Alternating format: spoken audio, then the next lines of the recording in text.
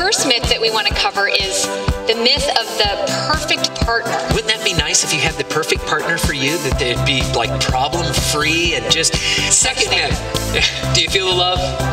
If she would just care about my mind. you know, seriously, sometimes I think all she thinks about is my body. It just. just, gosh. Seriously, uh, there are shallow things that wish uh, for, we just think, you know, if they just, that just, it's aggravating.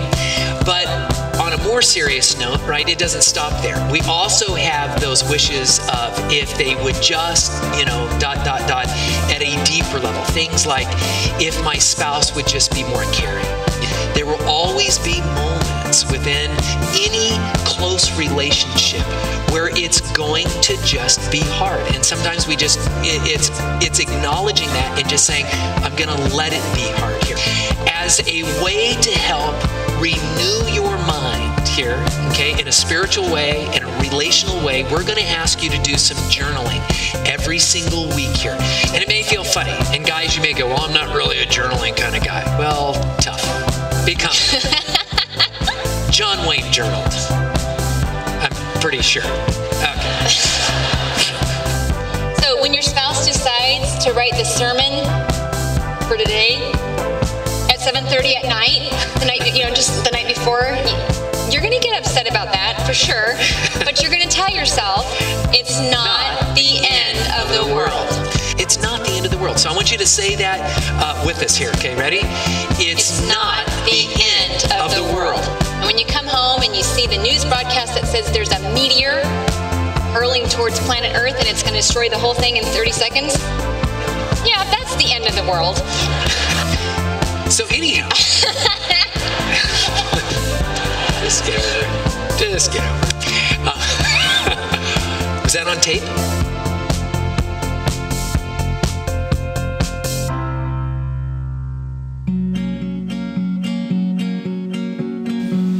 My name is Brittany Brown, and I'm the Creative Worship Arts Director at Casas Church. I sang for the first time in church when I was four with my mom, and then um, that kind of started me singing throughout like elementary school and middle school. I would sing in choir. My mom can sing, my dad can sing. What about your brothers? None of my brothers can sing at all. Actually, my mom, um, her whole family is pretty musically gifted. My grandfather was a music minister, and on my dad's side, he's got um, several siblings and I have a ton of cousins and pretty much everybody can sing and we'll have like these big family songs um, or we would do quartets or whatever and then my brothers are tone deaf completely. If they're if they're imitating somebody they can do okay but otherwise it's not good so. I met my husband Matt at Casas in 2008, and then we dated and um, got married in 2010. And then the following year, uh, we had our first son, Camden Tyler Brown, and he is 16 months old now and is really fun. Cam um, is my favorite thing in life besides Matt. Um, he is just really funny and I, have learned a lot about myself and um, and actually just more about God and His heart for us as children. Because once you're a parent, it puts everything in this different perspective for you, um, and just kind of learning and understanding what that unconditional love looks like.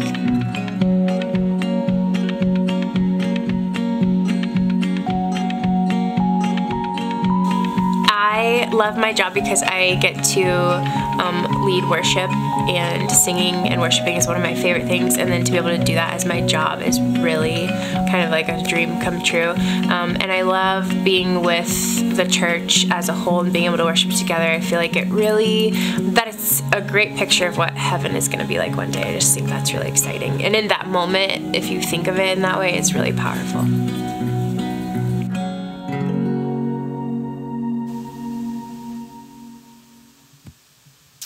Well, good morning, Casas. How's everyone doing this morning? Doing all right? Great. A little chilly? Is it warmed up out there? I haven't been out there yet. Okay, good. Uh, well, it's great to have you all here this morning. If you're a guest with us here today, we're so glad that you came. Um, and actually, in the uh, in the handout that you received at the door, um, there's a communication card. And uh, if you could take that, if you could take that and fill it out, we would love it. Um, this is our way to maybe, uh, be able to kind of just get you a little more information about who we are as a church, uh, get to know you a little bit. And actually, if you could today, if you're new, um, right after the service under the cross over here, there's some big uh, double doors. We're going to have what we call our 10 minute party. And so if you could fill this out, uh, we'd love to meet you. If you're, it's your first or second time or you're pretty new here, fill this out. Come and meet us back through. There's a room back in here. And uh, we'd love to just say hi and, uh, and get to know you a little bit. So fill that out at some point today. That would be great. Uh, well, I'm going to have you go ahead and stand up. And we're going to start today. Um, actually, we're going to have a big choir rehearsal, okay? I don't know if you knew this about me, but I used to, I started out in my past life as a high school choir teacher.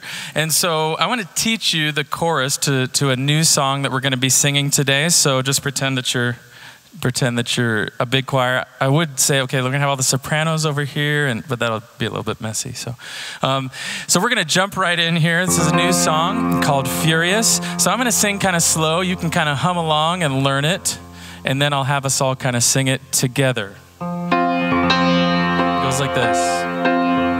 His love is deep, Love is wide, and it covers us. His love is fierce, His love is strong, it is furious. His love is sweet, His love is wild, and it's waking hearts to life. All right, so that's kind of basic. That's how it goes. I'm gonna have you sing it back with me. Ready? Here we go. One, two, three, and. His love is deep, His love is wide, and it covers us. His love is fierce, His love is strong, it is furious.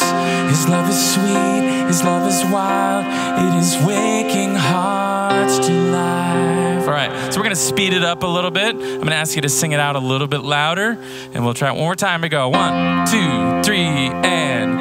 His love is deep, His love is wide, and it covers us. His love is fierce, His love is strong, it is furious. Is wild, and it's breaking hearts. All right, so you just learned the chorus of the song that we're going to do in just a little bit. But before we do that, why don't you turn to the people around you, give them a nice, warm welcome this morning.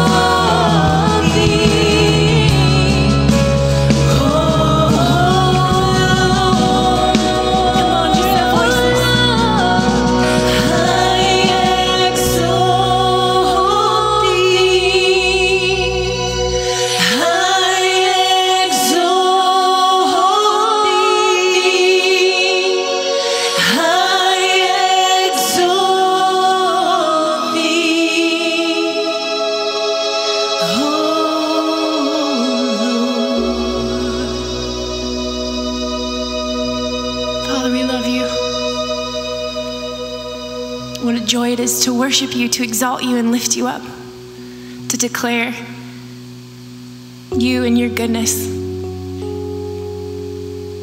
Be exalted in us today. Amen. You may have a seat.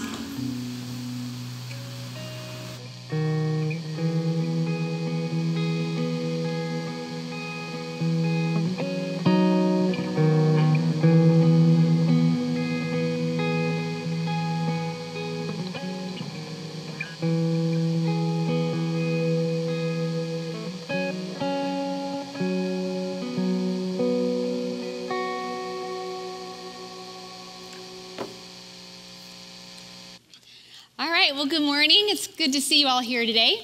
Um, I brought this big wad of Christmas lights because this is sometimes what they come out of our box looking just like this. And I'm sure you all can imagine the frustration. You probably had to go through this yourself the last, you know, month, last month or whatever. But anyway, um, when you think about your your closest relationships, any relationship, your spouse, a good friend, you know, a, a child, uh, an employer, whatever, you know, we tend to get tangled up in those emotions. We talked a little bit about this last week. We kind of get our panties in a twist and, you know, everything gets kind of jumbled up and it's a big mess. And we want to talk today about what it means to start untangling some of these emotions. And the more we can start untangling some of the things that get us all twisted up in knots, the better our relationships can be and the more fulfilling they can be. So that's what we want to uh, talk to uh, talk about today. So. Um, I wanted to ask y'all who has does anybody know who Dr. Phil is, or how many of y'all know who? Yeah, Everybody knows I love Dr. Phil. Um, I Dr. Phil's hilarious because I just anytime he's up there with you know any kind of uh, relational issue, you know, it's just it's he's so poignant and he just has such great insight. And I remember this one time there was this discussion with this couple and they're kind of getting you know into it. It's a heated discussion and you know he said she said and you know well if he did this and blah blah blah blah blah and you know what he did next and i and then you know he would come back well yeah but she did this and then i tried to say this and you know and they're just getting more and more heated emotionally. And so dr phil in his classic way just sits there and he's like so how's that working for you you know i love that that's my favorite sentence from dr phil So we want you to think about that concept. How's that working for you? And it's what we might call uh, the workability factor. And, and I know workability is probably not a real word, but you know what we mean by this. And the idea here is what really works. Because oftentimes, when we get tangled up in all of those emotions uh, in, a, in our marriage or in a close relationship, we start doing things and we act out of those emotions. And oftentimes, uh, what we're doing uh, isn't giving us or leading us towards what we really want. It's, it's really not working. And it, you can just picture Dr. Phil saying, you know, how's that working for you? And, and the truth is, for a lot of us, uh, it isn't working. And uh, part of it is because we want what's fair. Okay, when uh, when when we get all tangled up like this, oftentimes there's something that we feel is fair. There's something that our spouse ought to be doing that would be fair. There's something that our spouse should stop doing, and if they would do or stop doing that thing, then it would be fair, right? And we think we would feel better. That's that's the notion. But here's the truth. here's the truth. Fairness is really overrated, okay? and I know you may think, what? It's totally overrated, okay? And, and here's the reason why uh, we say this. Oftentimes, when we begin thinking of what's fair, what's fair in my relationship, what's fair in my marriage, is it causes us to focus, put a primary focus on that other person. When we think of fairness, we rarely think of what we need to do to make it fair. We think of how we're feeling and it's all jumbled up. And if our spouse, our partner, would just do something different, then it would become fair. But here's the problem. Here's the problem. You can't really have what's fair and what's workable at the same time. It's kind of like uh, having a lab. How many of you have a Labrador retriever? Anyone have labs in here? Okay, a bunch of it, yeah. There's, there's an old truism. You can have a lab or you can have a nice backyard, but you probably can't have both. Okay?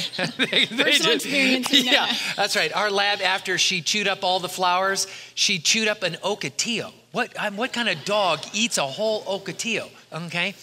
Um, and so, in the same way, um, in your life, especially when it comes to your spouse, you can pursue what's fair, what feels right to you, or you can pursue what really works in your relationship. But rarely can you have uh, both uh, in there. So, what we want to talk about here is how do we how do we apply some spiritual principles here that are really workable okay and there's two of them that we want to uh, talk about here this morning the first one that we're going to talk about is this idea of learning to let go and then the next one uh, and i'll give you the kind of the technical phrase for this is valuing valuing.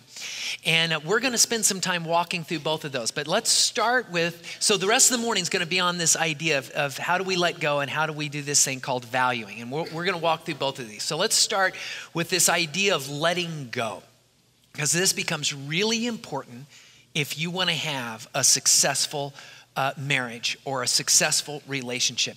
And I want you to think about all the passages in Scripture where the Bible begins talking about forgiveness. You know, think about those passages in Scripture that asks us to forgive.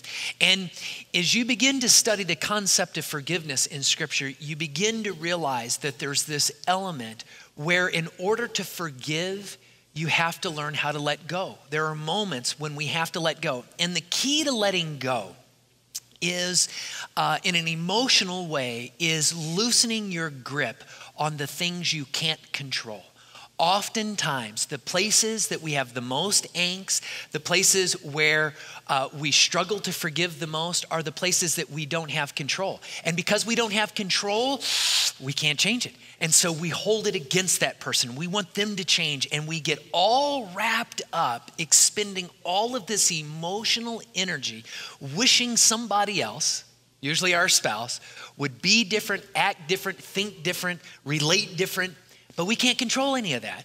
And it ends up pulling us in knots when the reality is the kind of life that scripture walks us towards is this idea of uh, to be a forgiving person is the kind of person that can let go. Let go and let other people uh, be in, in and around you. Yeah. I, uh, my parents love to tell this story about when I was about two years old. We used to live in Louisiana. And um, there, that's where they said there, where flies are like as big as trucks.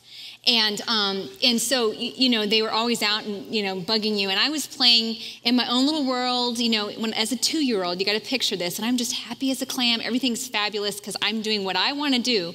When this fly decides to, you know, infiltrate my territory, and he's buzzing around and he's buzzing around and he's getting closer, and I start getting all riled up. I'm like, "Stop it! Stop it! Go away! That's not nice!" You know, I kept just, you know, getting all tangled up about this fly.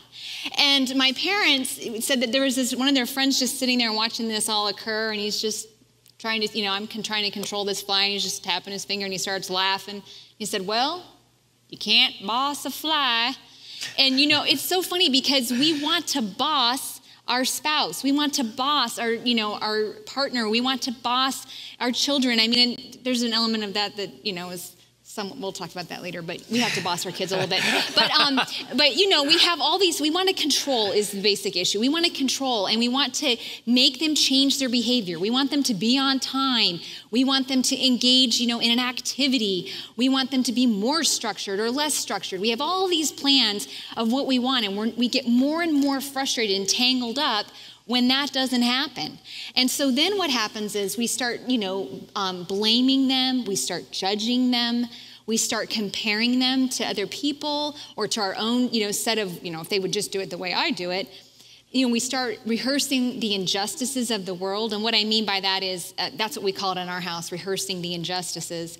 And that is, you know, you go through every little thing they've ever done. Well, gosh, when we first got married, they did this activity. And then three years later, they did X, Y, and Z. And then yesterday, it was the 565th time they did not take out the trash. You know, like you not start. Not that she's counting or yeah. Anything, I don't count that. Um, but anyway, you know, you just start keeping track of every little thing and jot and tittle that they do. You know, you just, you start keeping track. And then you also can start saying, you know, I'm going to go after this behavior. I'm going to change it. And you start going behind the scenes or you start attacking and you're wanting to take control. And all you're doing is getting yourself all stirred up, all tangled up in this emotion. And so, kind of what our challenge is to stop and ask yourself, how's that working for you?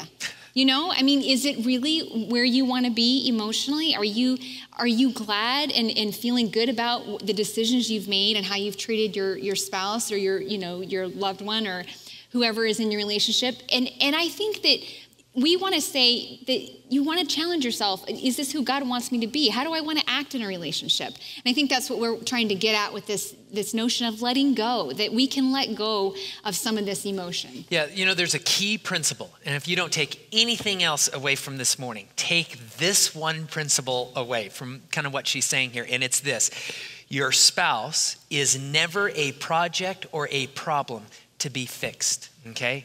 Just don't take that project on. And all too often, the places in marriage where we get so tangled up emotionally is that there's some issue or some area within our relationship, and there's a part of us that wants to get in there and fix it.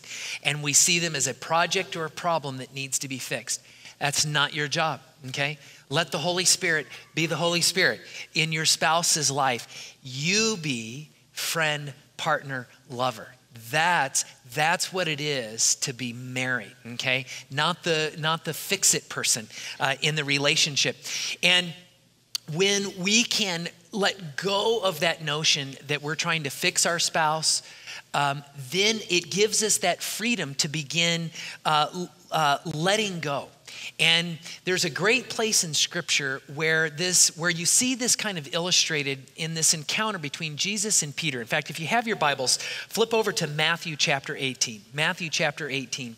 Because what's happening is Peter's on this issue and he's got this curiosity going, you know? Okay, as a follower of Christ, what does this mean? When somebody out there does something wrong, when somebody offends me, hurts me, uh, how many times do we forgive them? When, at what point uh, do we, we say, you know, I'm not letting go of this anymore? And so you see this in, ver- look at verse 21 as Peter kind of sets up the question here. He says this Then Peter came to Jesus and asked, Lord, How many times shall I forgive my brother when he sins against me? And of course, he gives this answer up to seven times, which seem to be like real reasonable. Seven, that seems like a pretty good number. Seven times. Imagine someone offending you seven times and going back and forgiving them seven times.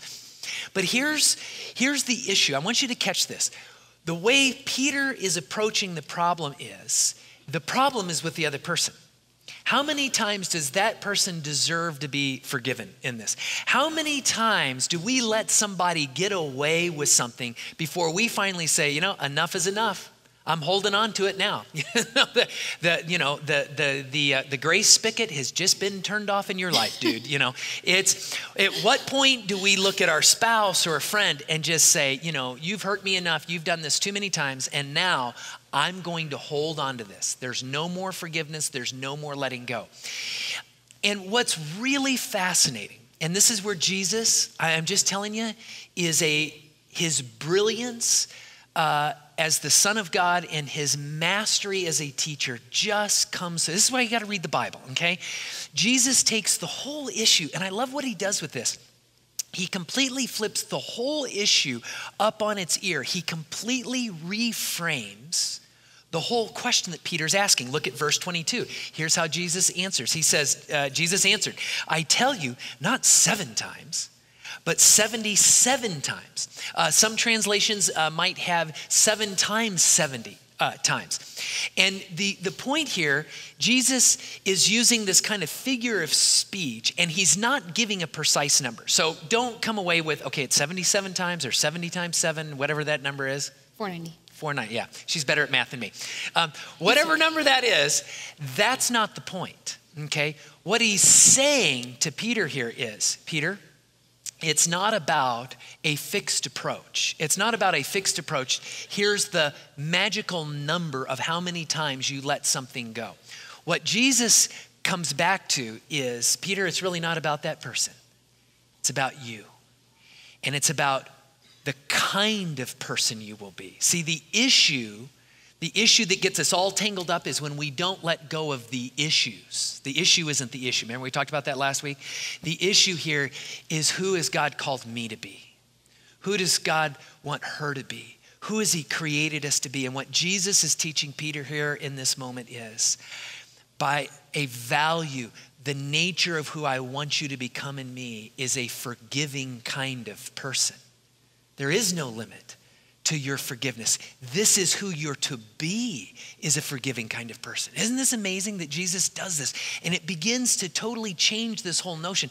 And so take what Jesus is saying here, and the idea is Jesus would say, you know, take this illustration is you've got to be the kind of person that can let those things go.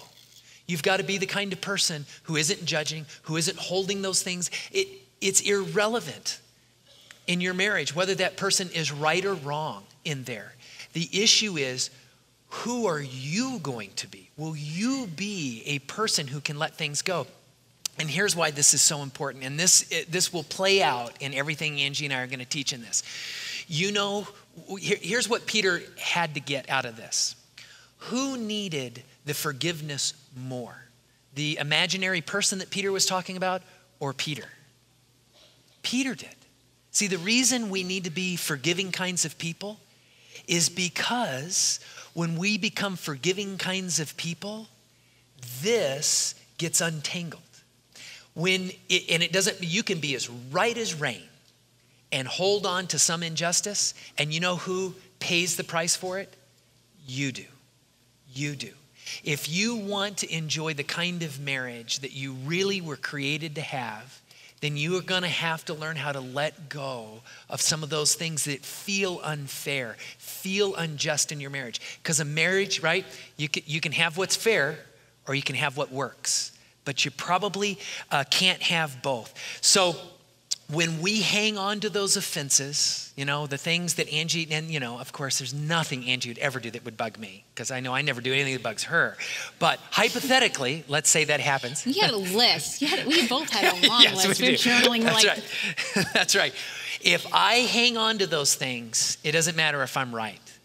In the end of the, at the end of the day, if I hang on to those things, I'm the one that pays uh, the negative price for it. So let's talk about these journaling exercises. Remember last? Oh, do we have those? Are the ushers ready to hand these out?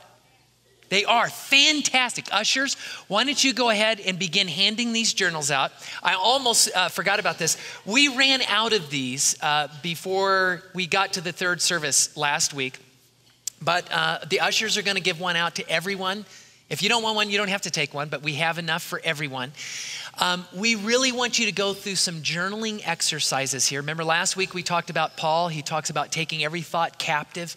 Uh, one of the ways you can do that is journaling, to think through, to process these things. And so there's some journaling exercises that we want you to go through throughout this series that will do an immense amount of good in helping reshape our minds around some of these principles. So, with this one, uh, just a simple journaling uh, exercise, and I believe these are in the notes that you were given in the handout, uh, is this just journal, just take five minutes this week and just journal on some issue that's just bugged the heck out of you with your spouse. And again, if you're not married, apply this to a relationship that's uh, very important to you. Maybe uh, it's a close friend, maybe it's a parent, maybe uh, it's one of your children, something like that. What is some issue that has just just had you all turned up in knots? Journal a little bit about what you did to try and change it, and how did it make you feel? And you're kind of asking yourself the question: How's that working for you? Was it working for you? Whatever you did, what you, if you got all amped up and pressured them or whatever, was that uh, working for you? Yeah. Um, I, uh, sorry, hold on one second. Yes, I lost my place. See, he's such a good helper. Thank you. Um, okay, so one of the things that I would like to illustrate um, for this is as a parent. I mean, because we, we, we want to share a lot of stories about as a spouse, but one for me that really hit home, and it's actually because God has a funny sense of humor um, sometimes, and that is because we had already started this sermon series or this sermon, and we kind of had most of it wrapped up by Friday. And I came home, and my two teenage children had the entire house just covered with any kind of food cooking product there was. And like all of my dishes were out, all of my pots and pans were out, everything was out. And there were just chunks and just boatloads of food everywhere. And so I'm just, I come home and I'm like, what is this? And they're like, well, we kind of, you know, just had some friends over and la la la. And I'm like, okay, well, why is it not picked up? And they're like, well, I'm like, okay, I want it picked up. So, you know, the next day I get up and nothing is changed. It is the exact same way as it was the night before. And uh, well, the pizza was a little drier than than it was the night before. And so I was I was really mad. And I'm, you know, I get up and they're like all blurry-eyed, "Hi, mom." And I'm like, "What is this?" And they're like, uh, you know, and I, so I just I mean, I was like tangled up. I got my panties in a twist. This was me right here. And, you know, I'm just laying into, you know, this is what you're supposed to do and blah, blah, blah, blah, blah. And you're supposed to pick up after yourself and be responsible and la, la, la. And uh, my, my kids called me on this because, see, we talk about how to do these kinds of things. They're like, Mom, you're acting out of your anger, you know? And I'm like, yeah, I know. But what I really wanted. it was a great moment. It, yeah, it was for you. You Yeah, loved it. me, You're like, yeah. God's gonna preach. But um, I like, darn, you know, just anyway. But what was happening was, I it wasn't only about my kitchen. You know, Glenn just saying the problem wasn't the problem. The problem really for me was I wanted my children to say. Mom, you're so right. Like, gosh, we were so bad. Like, why did we do that? It was so selfish. And we will make this right, Mom. We are going to go, and this kitchen will be fabulous looking. You know, I mean, I wanted that kind of attitude. I'm just, you know, I think that's okay to expect as a parent. But what was happening was I, having that expectation and being tied and wrapped into it, I was just getting more and more worked up. And I had to take a breath and learn how to just let that part go. I, I mean, I can't make my kids, you know, I mean, I can enforce rules, but I can't make them behave or believe or, you know, have some kind of a, an attitude towards me in a way that, I mean, it's not real to them. And I just have to let go of that. I can't keep wrapping myself up in all of this emotion. That's right. So part of this is in what she went through this whole thing of letting go. But one of the questions that sometimes comes up is, okay, when I understand this biblical concept of forgiveness, when I understand how to apply this in a relationship, sometimes it feels a little bit like, am I becoming a doormat? To let it go. Yeah, Let- to, to let it go To is- let it go. Is that just becoming a doormat? Mm-hmm. And the reality of what we're want you to grasp here is no. It's not about becoming a doormat because what happens here is that as you begin to let go of this stuff, that frees us up to do something different. And we want to go back uh, to last week and we want to pick up on this idea of valuing. And here's what we mean by value. Remember, we talked last, and if you weren't here last week, make sure you go to our website, watch uh, the message because it pertains to all this.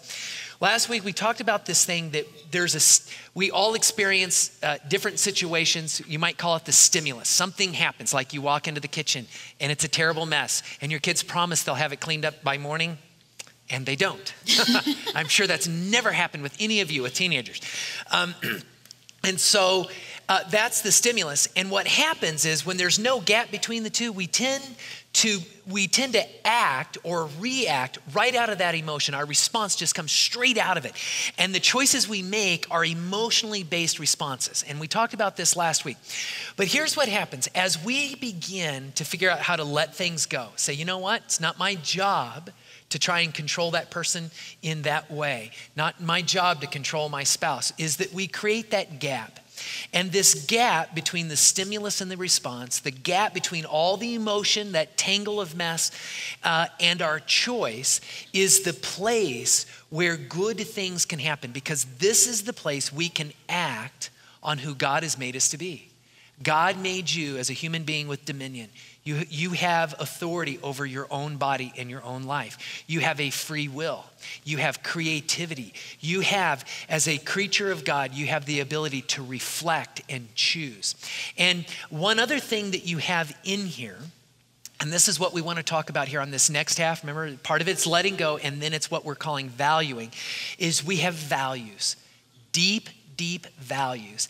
And we can make a choice that instead of choosing our, our response based on all of the emotion and the stimulus, we can choose a response or actions based on our values.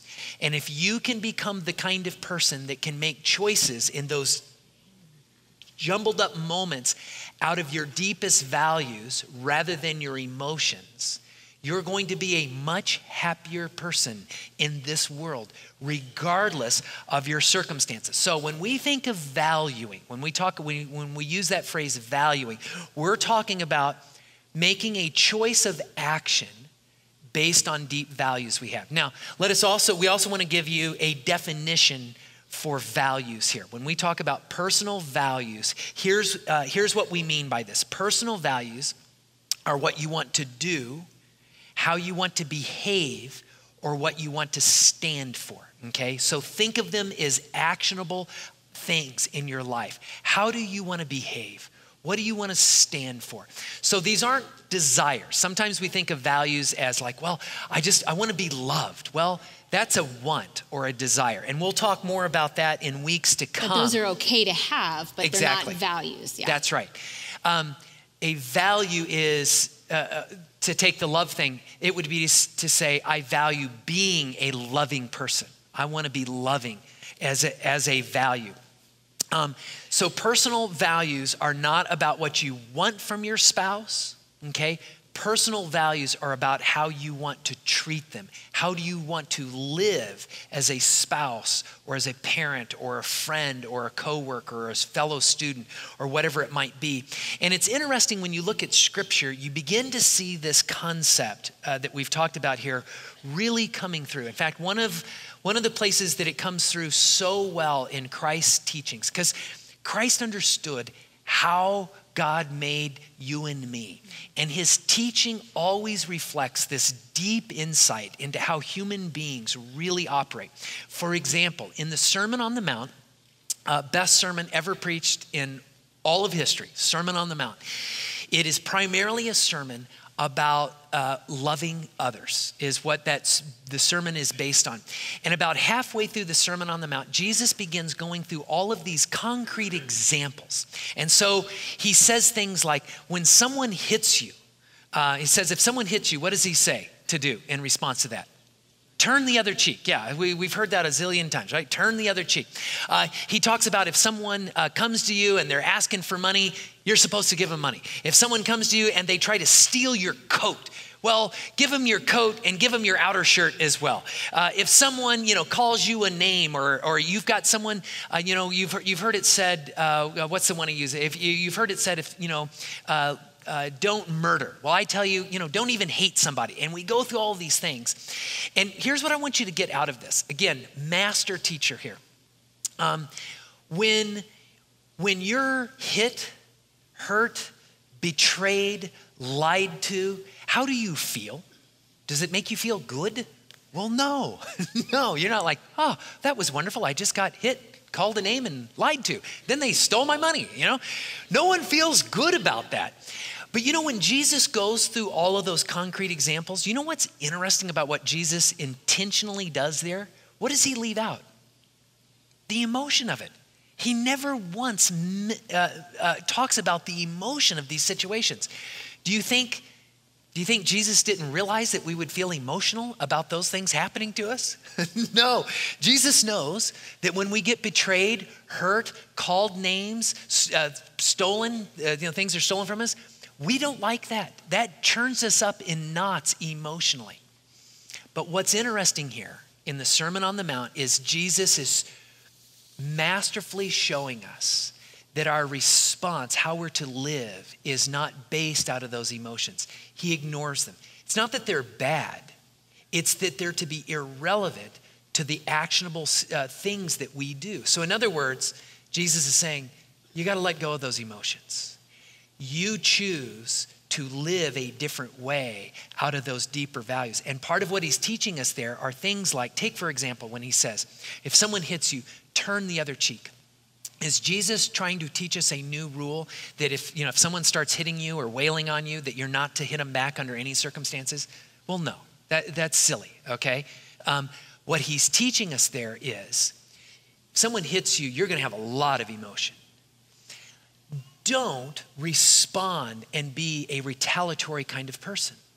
You have the ability, even with someone who's posturing as an enemy in your life, to live out of a deeper value that says, I'm not going to retaliate. I'm not going to be the kind of person that retaliates with every single person who tries to hurt me.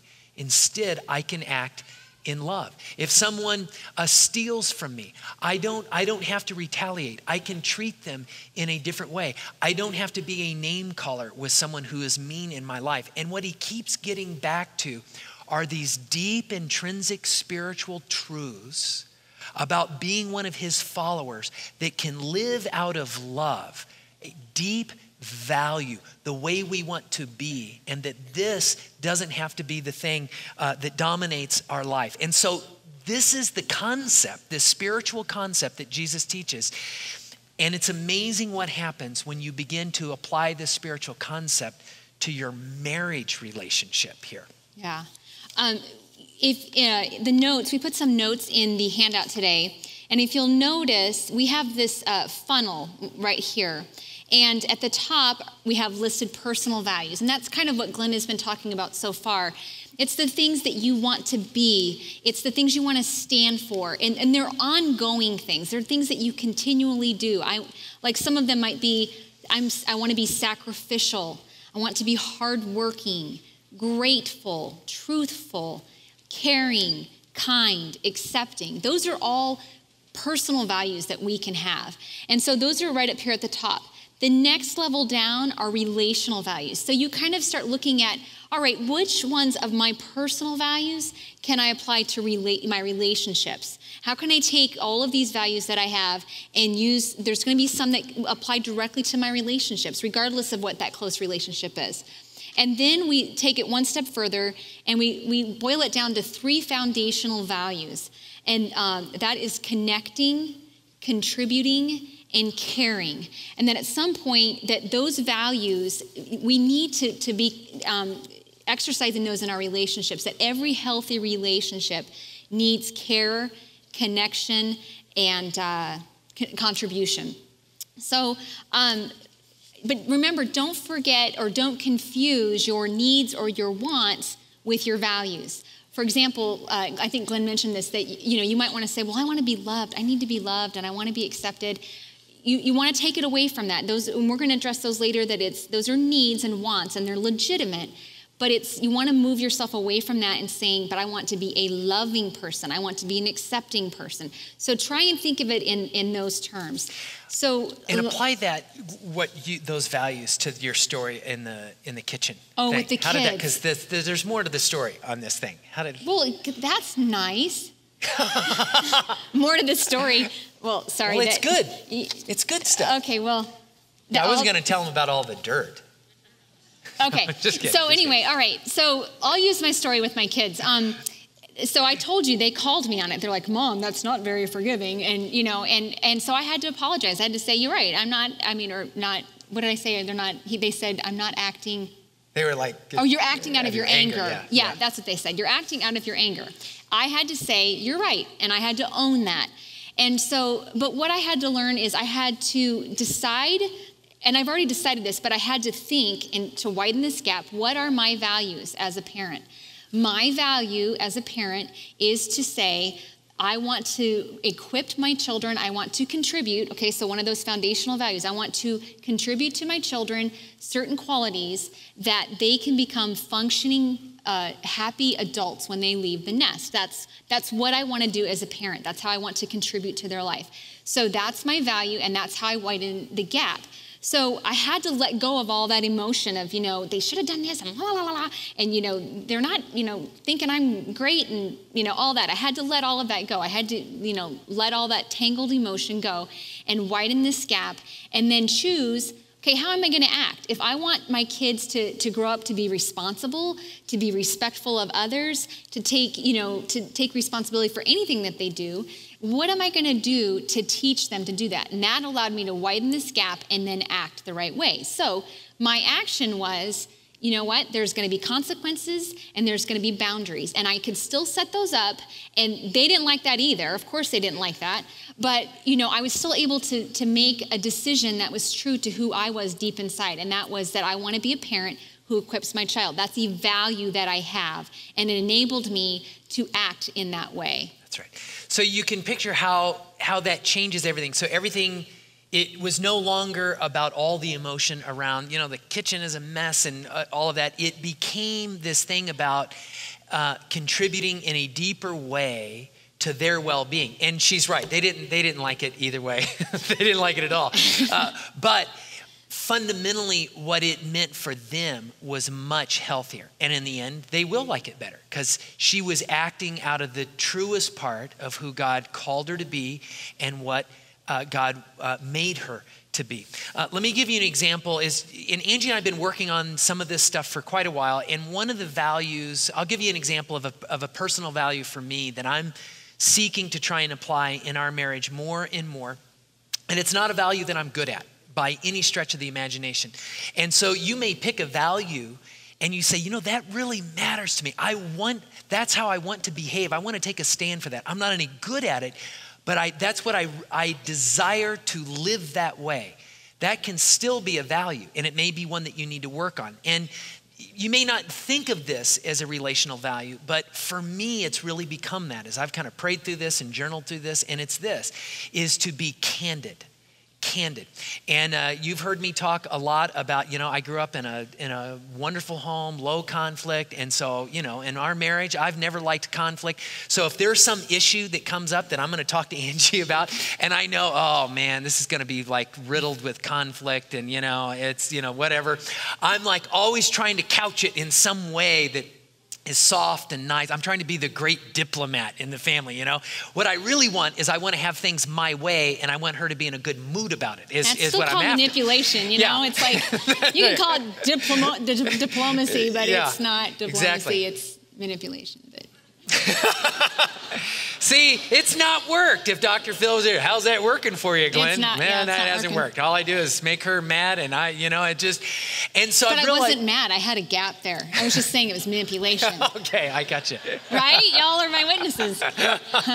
Sorry, go ahead. Okay, thank you very much. so for me, it's been this thing of saying, okay, um, I I want to be connected to her, and and in our marriage to be connected. If if I'm always in this diplomatic mode and I'm always trying to time my questions for her, or trying to you know always keep it in this smoothed over mode, well, that's not really connecting. I'm not being uh, true. Uh, there's a a lack of authenticity there because I'm trying to manage her emotions. I'm trying to manage her.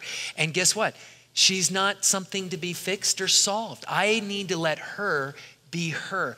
And what I can offer up in our marriage is to be candid about those things and not try and manage her in that moment, which can be really hard for me. But here's what I value I value her as my friend, partner, and lover. I value having a deep connection with her.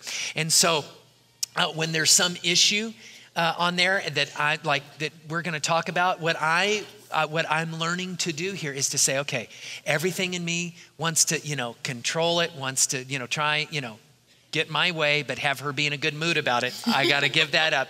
And the reality is, I've got to create that gap and say, the value that I want to relate with her in here at this moment is just to be candid. It's to simply state the truth of my request or how I feel about something or my opinion about something or whatever the issue may be. And you know what?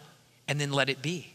Not state it in a way that is about trying to control her emotionally, but just here it is. This is what I'm offering up. And if she gets upset about it, let it go and say, I, she's a big girl. She can manage that. She can handle that. And here's the amazing thing for me is, and this is not easy for me, okay, is because in those moments, I just, I love it when everybody's in a good mood, okay? I just, that's the way I'm wired. But in those moments to say, you know what, what I value more than just everyone in my family being in a good mood, even if it's a little plastic, what I value more is truth and being candid and being truly connected to my spouse and letting her know that that she is free to be her and that I'm not going to judge her, I'm not going to try and control her, manipulate her on anything. And you know what? Ultimately, when I act in that way, um, overall, think of what that does for our marriage. See, when she's not feeling like I'm pushing on her and I don't have some secret agenda that I'm trying to work in there, ultimately, it brings our marriage into a deeper place of greater intimacy and a deeper sense of connection. And the only way I get there, the only way we get there, is when I can take Christ's words on this thing about saying, uh, I've got to let the emotions go. I'm not going to make the decision based on the emotion that I feel. I may feel hurt by her, I may feel angry with her, and it's not that I have to make those emotions go away. You know what you can do?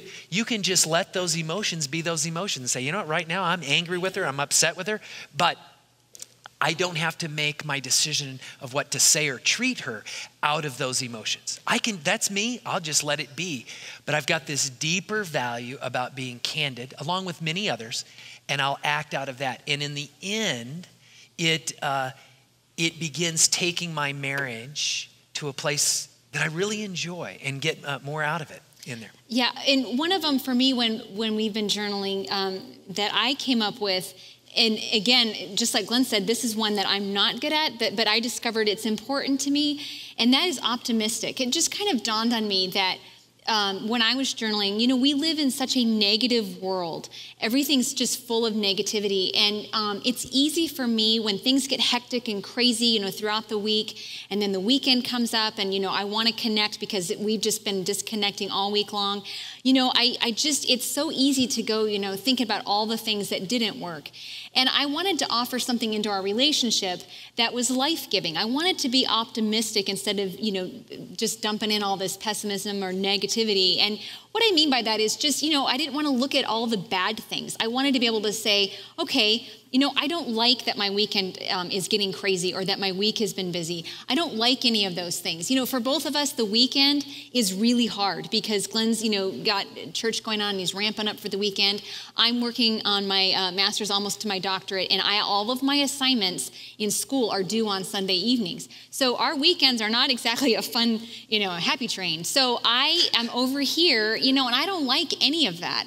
And so it was so easy. I was getting caught in this pattern of just being like, well, you know, it's just, we don't do anything fun. And, you know, it's just so busy and your schedule's this, or, and I don't like my schedule and blah, blah, blah, blah, blah.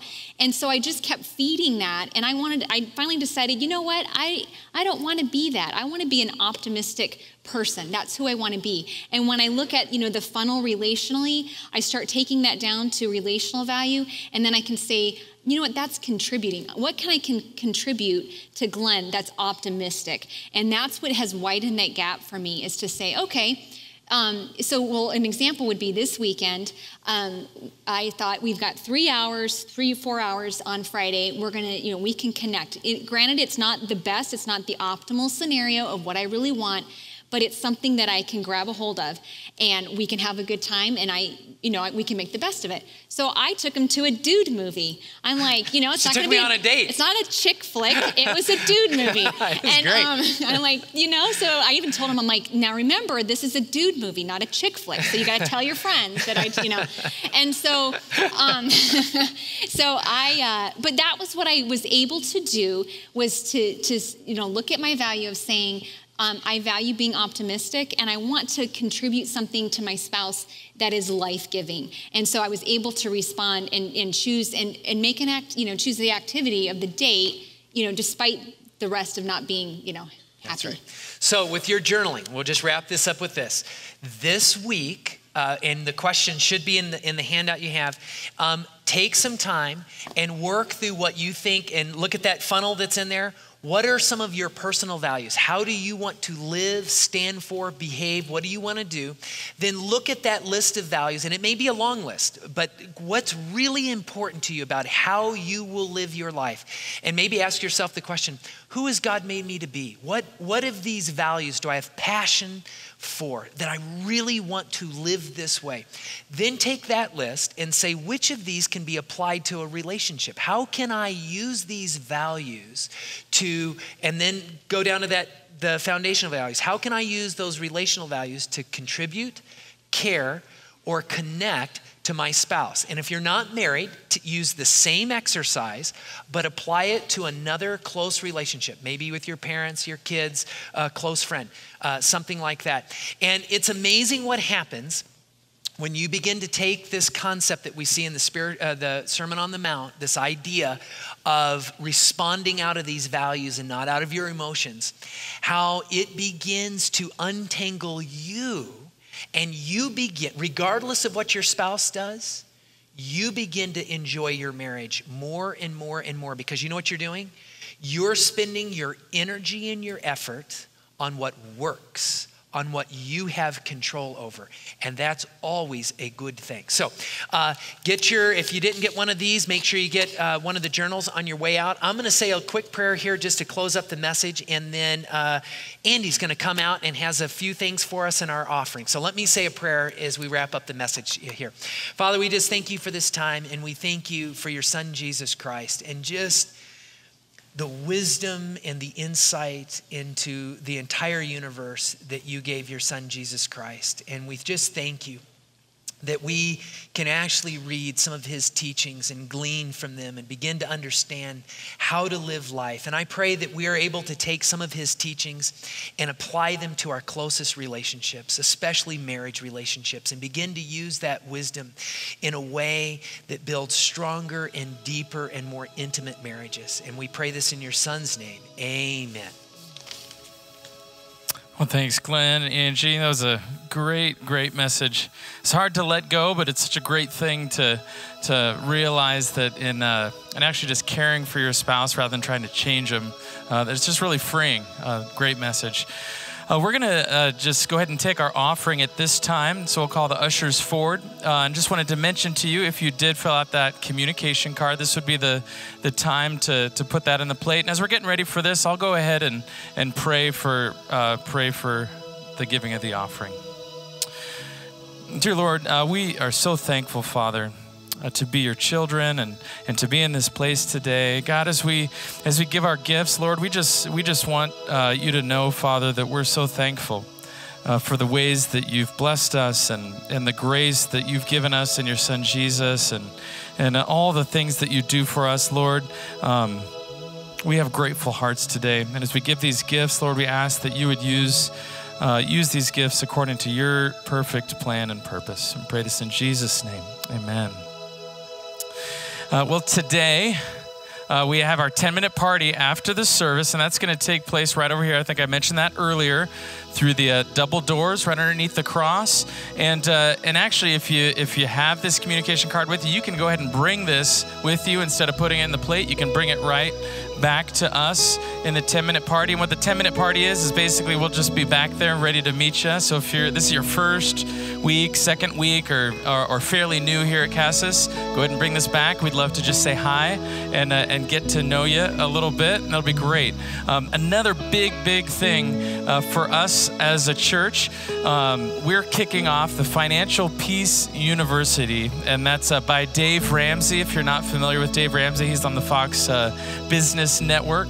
Um, and this is a really, really successful program. And just uh, personally speaking, for my wife and myself, our family, we've been able to pay off uh, thousands of dollars in debt and, uh, and actually put uh, put a bunch of money into savings. Uh, so it really works. And we try as best we can to just use the envelope system and pay cash for most things. So great, uh, great program that really works. So if you haven't done that before, I, I encourage you sign up for that today. And you can do that out at the white tent outside today. And I think the next two weeks we'll be doing that outside. And you can also register at casaschurch.org. Just go to casaschurch.org org to uh, to register for that.